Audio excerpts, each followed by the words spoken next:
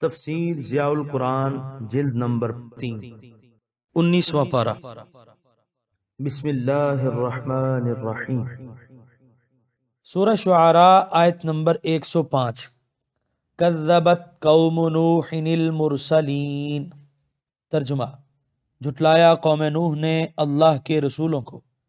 سورہ شعراء آیت نمبر ایک سو پانچ کی تفسیر۔ اب نو علیہ السلام اور ان کی قوم کے حالات پر روشنی ڈالی جا رہی ہے۔ سورہ شعراء آیت نمبر 106 اذ قال لهم اخوهم نوح الا تتقون۔ ترجمہ جب کہا انہیں ان کے بھائی نوح نے، کیا تم ڈرتے نہیں ہو؟ سورہ شعراء آیت نمبر 106 کی تفسیر۔ یہ قوت اور بھائی چارہ نسبی ہے، دینی نہیں۔ نیز آپ کو ان کا بھائی کہہ کر اس جذبہ اخلاص اور خیر خواہی کی طرف بھی اشارہ کر دیا، جو ایک بھائی کے دل میں اپنے بھائیوں کے متعلق فطری طور پر پایا جاتا ہے۔ بتا دیا کہ یہ کوئی اجنبی نہیں جسے تمہاری خوشی اور غم سے کوئی واسطہ نہ ہو، بلکہ یہ تمہارا بھائی بند ہے۔ تمہاری فلاح اور کامیابی اس کے لیے فرحت و امبساط کا باعث ہے اور تمہاری گمراہی سے اس کے دل میں درد و غم کی لہریں اٹھنے لگتی ہیں۔ سورہ شعراء آیت نمبر 107 انی لکم رسول امین ترجمہ بے شک میں تمہارے لیے رسول امین ہوں۔ سورہ شعراء آیت نمبر 108 فتق اللہ و اطیعون. ترجمہ پس اللہ تعالیٰ سے ڈرو اور میری فرما برداری کرو. سورہ شعراء آیت نمبر 108 کی تفسیر میری صداقت اور امانت کے تم خود گواہ ہو۔ اب میری بات ماننے میں کیوں پسو پیش کر رہے ہو؟ میں تو تمہیں اپنے مالک حقیقی کی ناراضگی سے ڈرنے کی تلقین کرتا ہوں۔ میرے پیش نظر کوئی ذاتی اور مادی فائدہ نہیں۔ میں تم سے کسی اجر اور معاوضے کا مطالبہ نہیں کروں گا۔ میری ان دل سوزیوں پر میرا خدا ہی مجھے اجر دے گا۔ سورہ شعراء، آیت نمبر 109 وما اسألكم علیہ من اجر ان اجری الا علی رب العالمین ترجمہ۔ اور میں نہیں طلب کرتا تم سے اس تبلیغ پر کوئی اجرت۔ میرا اجر تو رب العالمین کے ذمے ہے۔ سورہ شعراء آیت نمبر 110 فتق اللہ و ترجمہ۔ بس تم ڈرو اللہ سے اور میری پیروی کرو۔ سورہ شعراء آیت نمبر 111 قالوا انؤمن لك واتبعك الارذلون ترجمہ۔ انہوں نے کہا، کیا ہم قوم کے رئیس ایمان لائیں تجھ پر؟ حالانکہ تمہاری پیروی صرف گھٹیا لوگ کر رہے ہیں. سورہ شعراء آیت نمبر 111 کی تفسیر۔ وہ کہنے لگے، آپ پر ایمان لانے والے سب کے سب ایسے لوگ ہیں جو خاندانی لحاظ سے بڑے گھٹیا ہیں، مالی لحاظ سے بڑے مفلس اور کنگال ہیں، معاشرے میں انہیں کوئی عزت کی نگاہ سے نہیں دیکھتا۔ ایسے کمین اور پسماندہ لوگوں کے پیشوا پر ایمان لا کر ہم اپنی سبکی نہیں کر سکتے۔ ارزلون ارزل کی جمع ہے۔ اس کی جمع تکثیر ارازل ہے اور مونس رضلا اور جمع رضلن ہے۔ اس کا معنی صاحب کاموس نے ادون الخصیص کیا ہے۔ یعنی جاہو مال میں سب سے کمتر کو ارزل کہتے ہیں۔ صورت شعراء آیت نمبر ایک سو بارہ۔ قال وما علمی بما كانوا يعملون۔ ترجمہ۔ آپ نے فرمایا، مجھے کیا خبر کہ وہ کس نیت سے ایمان لائے ہیں؟ سورہ شعراء آیت نمبر 112 کی تفسیر۔ اس جملے کی متعدد تشریحیں کی گئی ہیں۔ ان کے پیشے اور حریفت گھٹیا صحیح، لیکن مجھے ان سے کیا سروکار میں اتنا جانتا ہوں کہ انہوں نے میری دعوت قبول کر لی ہے اور دین اسلام میں داخل ہو گئے ہیں۔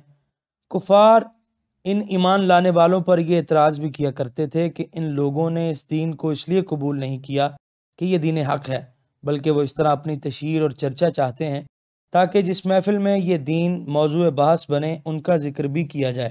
ان کا نام بھی لیا جائے کہ فلاں فلاں شخص نے یہ دین قبول کر لیا ہے۔ اس جملے سے ان کی اس اعتراض کا رد ہے کہ تم ان کی نیت پر شبہ کرتے ہو تو کرو، مجھے تو اس سے بحث نہیں۔ دلوں اور نیتوں کو اللہ تعالیٰ خوب جاننے والا ہے۔ میں تو اتنا جانتا ہوں کہ انہوں نے اللہ تعالیٰ کی توحید کو مانا اور اس کے دین کو قبول کیا ہے۔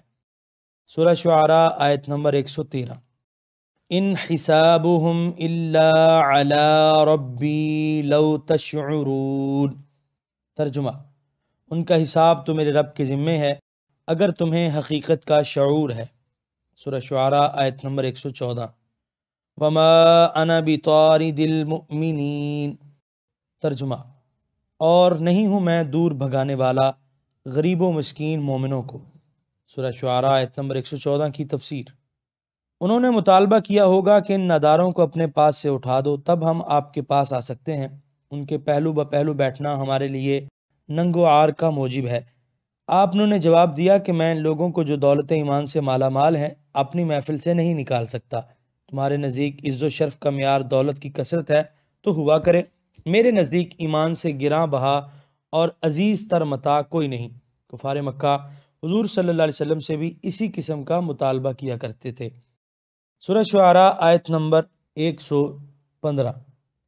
ان انا الا نذیر مبین۔ ترجمہ نہیں ہوں میں مگر عذاب سے صاف صاف ڈرانے والا۔ سورہ شعراء آیت نمبر ایک سو پندرہ کی تفسیر۔ میرا کام ہر ایک کو خدا کی نافرمانی کے انجام سے ڈرانا ہے۔ کوئی امیر ہو یا غریب، معزز و محترم ہو یا حقیر و بے نوا، میری دعوت سب کے لیے عام ہے۔ جس کا جی چاہے قبول کرے اور جس کا جی چاہے رد کر دے، لیکن میں کوئی نامعقول شرط قبول کرنے کے لیے تیار نہیں۔ سورہ شعراء آیت نمبر ایک سو سولہ۔ قالوا لئن لم تنتهي يا نوح لتكونن من المرجومين ترجمہ۔ ان معززوں نے کہا، اے نوح، اگر تم باز نہ آئے تو یاد رکھو، تمہیں ضرور سنسار کر دیا جائے گا۔ سورہ شعراء، آیت نمبر ایک سو سولہ کی تفسیر۔ کفر اور باطل کی یہی درینہ عادت ہے۔ جب وہ دلائل کے میدان میں حق کو نیچا نہیں دکھا سکتا، تو وہ طاقت کے بلبوتے پر اسے دبانا چاہتا ہے۔ چنانچہ اب وہ آپ کو دمکیاں دینے پر اتر آئے ہیں۔ سورہ شعراء، آیت نمبر ایک سو سترہ۔ قال رب ان قومی کذبون ترجمہ۔ آپ نے عرض کی میرے مالک، میری قوم نے تو مجھے جھٹلا دیا ہے۔ سورہ شعراء آیت نمبر 118 ففتح بینی و بینہم فتحا ونجنی ونجنی ومن معی من المؤمنین۔ ترجمہ۔ پس تو فیصلہ فرما دے میرے اور ان کے درمیان جو قطعی ہو۔ اور اپنے عذاب سے نجات دے مجھے اور جو میرے ساتھ ہیں اہل ایمان سے۔ سورہ شعراء آیت نمبر 118 کی تفسیر۔ جب آپ ان کے ایمان لانے سے بالکل مایوس ہو گئے تو آپ نے یہ دعا کی، یہاں فتح کا معنی قطعی فیصلہ ہے اور مشحون یعنی مملوبن بری ہوئی۔ کشتی میں جو چیز لا دی جائے، انسان، حیوان یا دیگر سامان، اسے شحنت الفلک کہتے ہیں۔ تفصیل کے لیے ملاحظہ ہو ضیاء القرآن جلدوم سورہ عراف آیت انسٹھ تا چونسٹھ۔ سورہ شعراء، آیت نمبر ایک سو انیس۔ فَأَنْجَيْنَاهُ وَمَن مَّعَهُ فِي الْفُلْكِ الْمَشْحُونَ۔ ترجمہ۔ پس ہم نے نجات دی انہیں اور جو آپ کے ہمراہ اس کشتی میں تھے، جو کھچا کھچ بھری ہوئی تھی۔ سورہ شعراء، آیت نمبر 120 ثم اغرقنا بعد الباقین۔ ترجمہ۔ پھر ہم نے غرق کر دیا اس کے بعد پیچھے رہ جانے والوں کو۔ سورہ شعراء آیت نمبر 121 ان فی ذالک لآیہ۔ وما کان اکثرهم مؤمنین۔ ترجمہ۔ یقیناً اس واقعے میں بھی عبرت کی نشانی ہے اور نہیں تھے ان میں سے اکثر لوگ ایمان لانے والے۔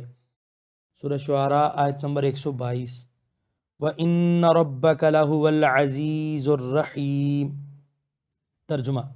اور بے شک آپ کا رب ہی سب پر غالب، ہمیشہ رحم فرمانے والا ہے۔ یہاں پر انیسویں پارے کا دسواں رکوع مکمل ہوا اور یہاں پر انیسویں پارے کا پہلا آدھا مکمل ہوا۔